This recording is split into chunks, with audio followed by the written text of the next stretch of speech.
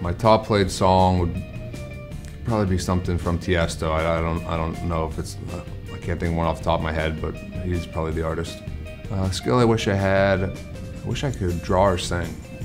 Best way to spend an off day with the family and the kids, just spending some time with them, going out somewhere. Favorite sport outside of hockey, I, I really I played baseball. I like baseball, and I love to watch football. My favorite road city, probably Vegas or Nashville. Favorite athlete growing up, uh, Mario Lemieux.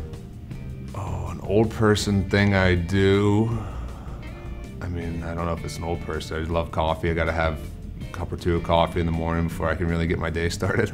Most embarrassing hockey moment. I got.